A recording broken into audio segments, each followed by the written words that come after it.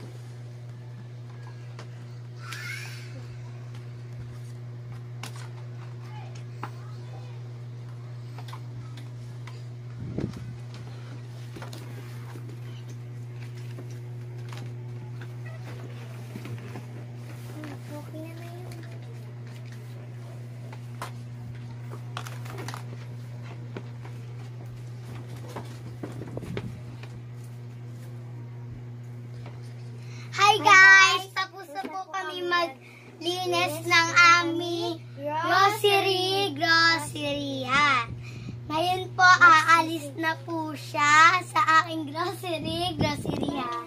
Bye po. Go. Hello guys, na inaayusin ko ang aking ice cream ice creaman. Kasama ko po si Ate Robeling Princess. Ito Hi guys! Ito po siya na yun yung kasama ko po kaganina. Ngayon po, ayusin namin po ito. Ayusin po mo, namin po itong, pero po, pag ayusin muna po namin to, subscribe nyo muna po sa Princess 5 Mamigos. Na yan ang sisimulan na, sisimulan na po namin ayusin. Let's go na po! At manood na manood pa rin po kayo sa aming gagawin na YouTube channel sa Pretty S. Bye!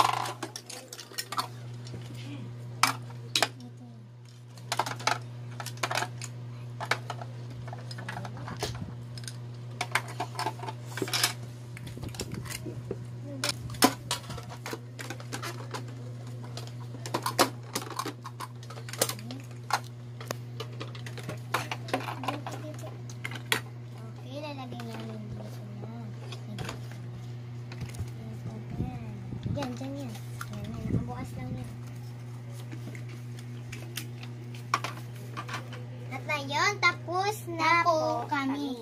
Ito na po yung aming ice cream ice creaman. Tapos na po ang aming ganito. Ngayon po, ito na po ay ang aming gagawin ngayon. Hello guys! Ang ganda po ng aming gawa. Number one. Yung customer mo na tao po ng tao po, tulog pala tindera. Go! Tao po! Tao po! Tao po! Tao po! Tao po! Tao po! Ano ba naman yun? Nakakainis? Oh! Tao po! Oh. Tao po!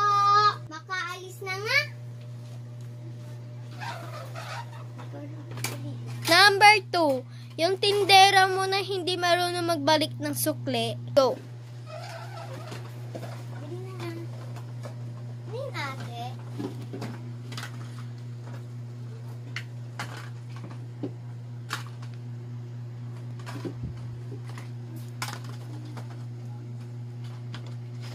Yan ang labas niya.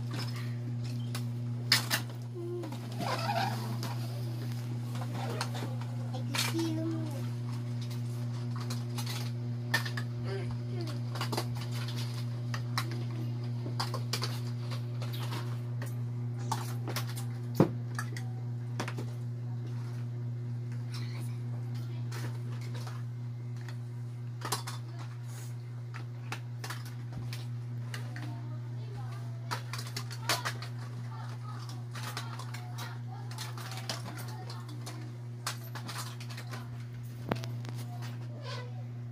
One hundred po.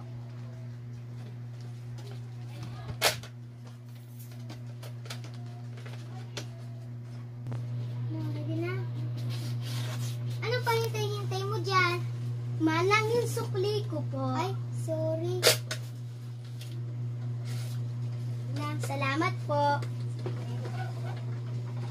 Go! Bibili pa. Umalis ka na nga lang. Bibili pa. Diba sabi ko umalis ka na nga lang? Sa iba na nga lang. Di ba na lang ako bibili? Number four.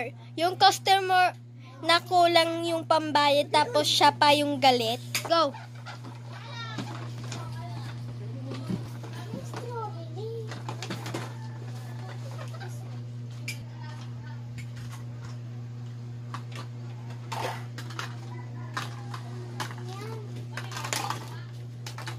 Lahat. Unang ng ng 30 po. Ang pera ko, iba na lang ako bibili. Ano ba yan? Ang sungit-sungit naman neto. Number five. Yung tindera na masyadong nagmamadali, hindi na niya alam na natapunan na niya ng ice cream yung customer. Go! Pabili nga po ng dalawang ice cream. Ano yung isa po nasa cone, tapos yung isa nasa baso. Ano po flavor? Ito po at to.